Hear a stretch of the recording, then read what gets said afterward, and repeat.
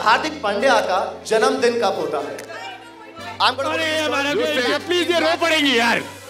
Yes. ये रो पड़ेंगी यार प्लीज़ प्लीज़ इधर मिल गया आंसर हाँ। 11th अक्टूबर और उस वेल दिन done to you also well done to you also Hardik उस दिन जन्मदिन होता है अमिताभ बच्चन जी का भी। कोई स्पेशल मीटिंग उनके साथ कोई स्पेशल टीचिंग जो आपने सीखा उनसे? नहीं वो तो बहुत ही बड़े हैं उनसे मतलब बस एक रूम में मिल गए वही बहुत बड़ी बात है। लेकिन सबसे फाउंड मेरा एक बढ़िया मेमोरी थी उनके पास जब अ, पापा को जब मिले थे हम लोग आई थिंक 2019 का या 17 का one of the years which we won the IPL उसके बाद जब पापा को मिले थे जो पापा को उनने एक लाइन बोली थी I think there is a clip also of that which उनसे दैट अरे इतनी बड़ी इतनी बढ़िया संतान आपने देश को दे दी आप बहुत बड़ा काम किया है. So that itself was a big thing that coming from him you know what Hardik ये जो है मेरे साथ मेरी फ्रेंड बैठी है इनका एक रिक्वेस्ट है कि एक अमिताभ बच्चन का डायलॉग हो जाए।